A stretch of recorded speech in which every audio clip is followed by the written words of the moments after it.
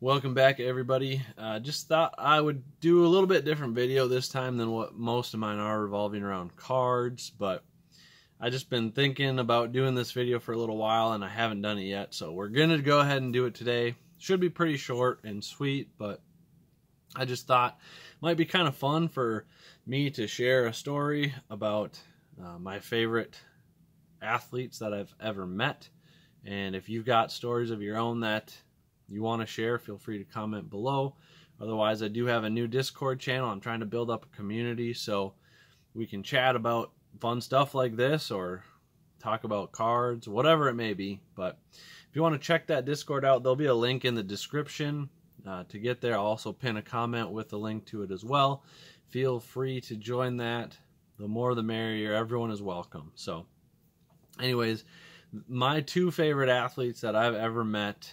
Um, just they're equally nice and very enjoyable to talk to.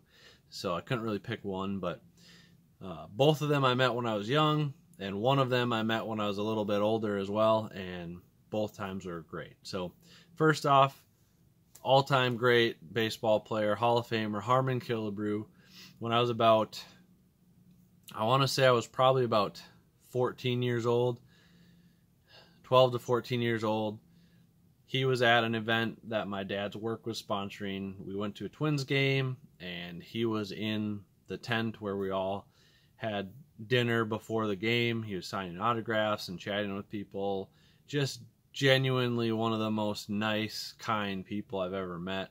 And even to this day, I just remember how nice he was. And even though there were hundreds of hundreds of people that wanted to see him and talk to him and get his autograph.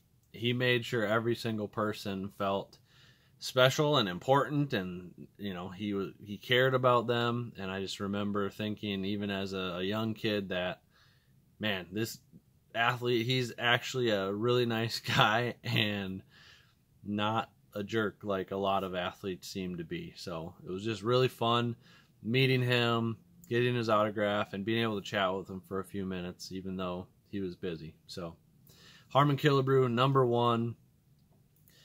Uh, quite a few years later, after I was dating, or while I was dating my now wife, we actually went to a Twins game, and it happened to be the Twins game where they were honoring him after he had passed away. So that was actually really cool to be able to be there for that game. I actually might have pictures. If I have them, I'll, I'll show them up on the screen here from when we were at that game. I'll look through my phone. I might have them still. But that was a lot of fun uh, meeting Harmon Killebrew. And again, it was pretty cool to be there when they honored him. It was unplanned. Didn't realize we were going to be at the game that they were doing that. And it just happened to be the day. So that was fun to be a part of it. Second athlete, another Twins baseball player, all time great for the Twins, Tony Oliva. Super nice. Um, again, I met him a couple years after I met Harmon Killebrew. I was probably about 15, 16 years old. Signed a baseball for me. Actually, Harmon Killebrew and Tony Oliva both signed baseballs. They're both sitting in my office at work. I was going to bring them home, but I kind of forgot to, to bring them home so I could show you guys. But Still have them. Those will never be sold. Those are personal, all time. Just gonna keep those forever kind of things. And the first time Tony Oliva was super busy. It was a town ball.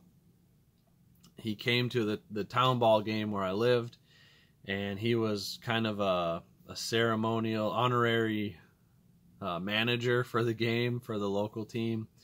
Uh, I think he was coaching first or third base uh, as one of the managers, and then signing autographs for the fans. So got his autograph there on a ball, and then my favorite story to tell people about sports in general, but especially athletes, is when I was about 20, in my early 20s, we'll say. I was in my early 20s. I was at the Mall of America shopping for Christmas. And I was going through Macy's looking for um, a perfume that my wife wanted. So couldn't find it, walking all around in circles, and I saw him sitting on a bench. and I did a double take. I didn't think it was him at first, and I looked again. I'm like, that's that's got to be Tony Oliva. So I walked up to him and I said, just basically, hey, are you Tony Oliva? You look really familiar. I, th- I think we've met before, and and you look familiar, but sorry if you're not. He's like, no, that's me.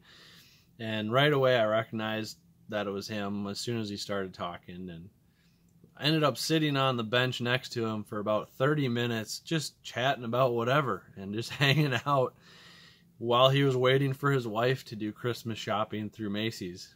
And she is also the nicest lady I've ever met as well. Um, when she finally came back and saw the two of us chatting, she sat with us and we, the three of us talked for about five minutes before they headed out and finished up their shopping. But it was just really cool being able to sit down with Tony Oliva. Nobody else knew who he was. They had no idea. Hall of Fame baseball player was sitting on that bench by himself, looking bored.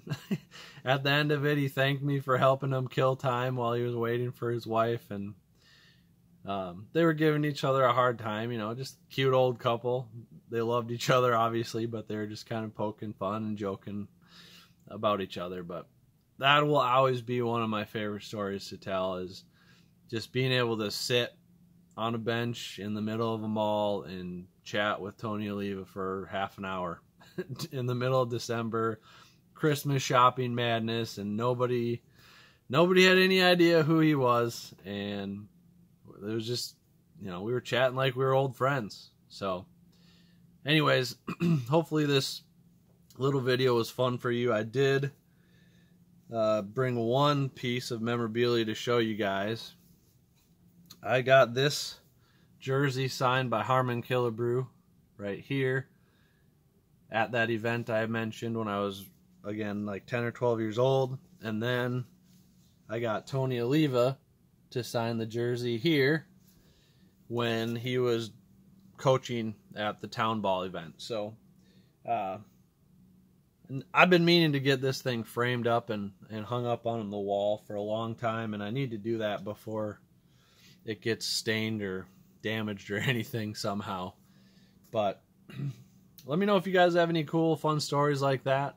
Again, feel free to share them here in the comments or join my Discord and share them there. But uh, just thought it might be fun to do something a little bit different than cards and tell a fun story that I enjoy sharing. So, uh, if you did enjoy your time watching this video, please thumbs up, please subscribe, and until next time, God bless.